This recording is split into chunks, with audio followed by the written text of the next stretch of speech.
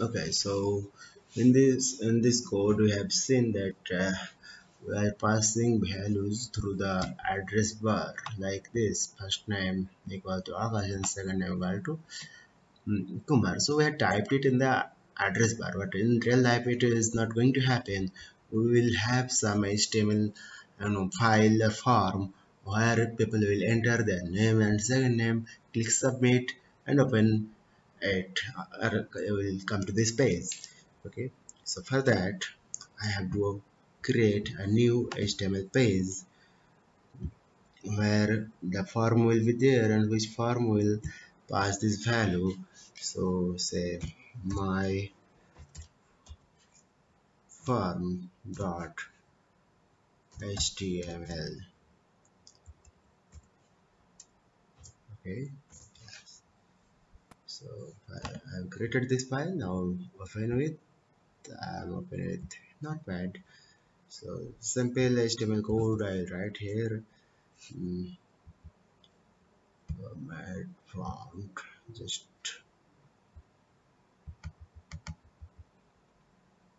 just increase the size of the font.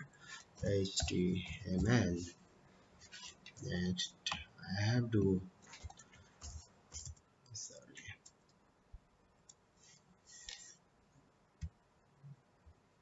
I have to end HTML here. Next I'm not writing the head part. Directly I'm going body. Now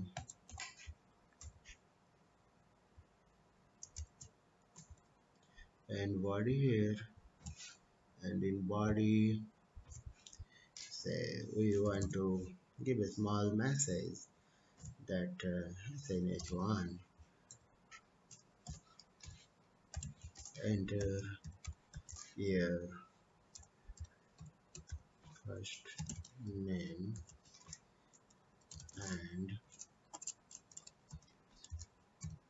second name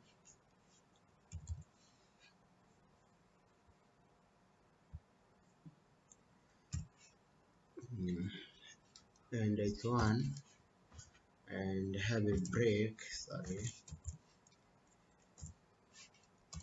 Have a break here. Next I have to create the form. So form tag.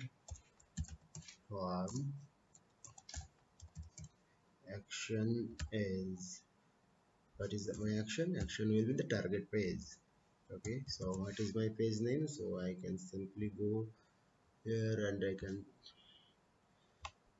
copy this target. Page name from here. Put the target page name here. And method. Equal to we want to use get method. Okay.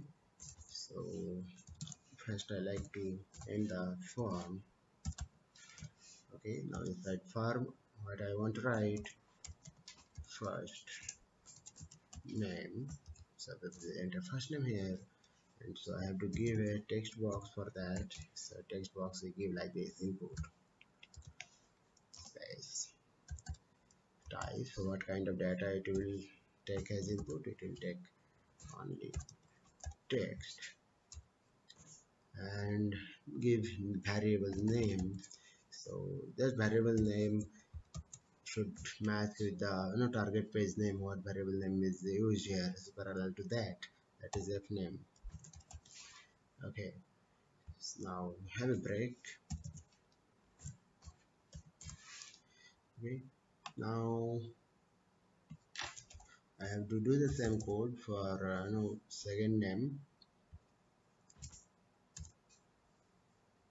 So this is second name second variable name will be s name okay. And this is the end of our input. So I'm ending it here. Next I have to create the submit button. So submit button is also input type. So input type equal to submit value equal to submit. Okay and end this here as well.